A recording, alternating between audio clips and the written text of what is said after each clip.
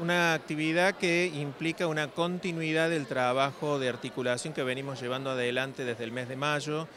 con las visitas que el equipo de comunicación académica y orientación vocacional de la Secretaría Académica Central ha estado realizando con las escuelas de la ciudad y la región.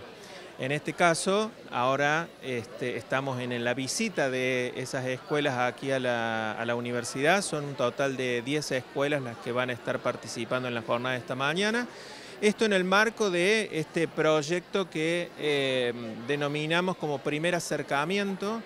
de la universidad a la escuela y ahora de la escuela a nuestra universidad. Y hoy con la particularidad de que al,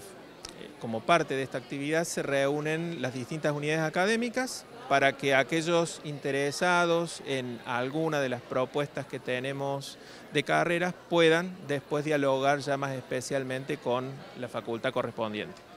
Profesor, ¿cómo valora el impacto de estas estrategias de comunicación y de articulación con las facultades con respecto a la información que piden los estudiantes, que necesitan los estudiantes, y cómo se van delineando estas estrategias? Bueno, la verdad que como valoración es todo muy positivo y, lo puedo argumentar desde lo que nos van comentando los directores de las escuelas, los docentes de las escuelas que, por ejemplo, en esta mañana nos acompañan,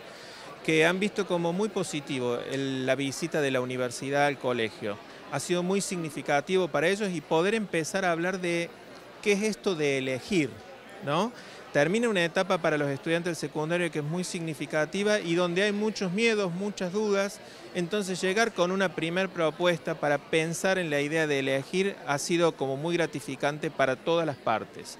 Con relación a, lo que tiene que ver con los lineamientos que preguntaba recién con las unidades académicas, bueno, estas son cuestiones que nosotros venimos trabajando en el marco del Consejo Académico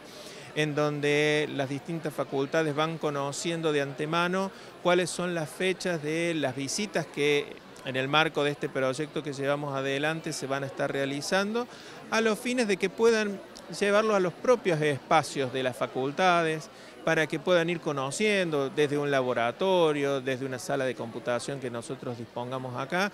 y que de alguna manera ese puente, ese nexo entre la escuela secundaria y el paso a la universidad pueda ser lo más este,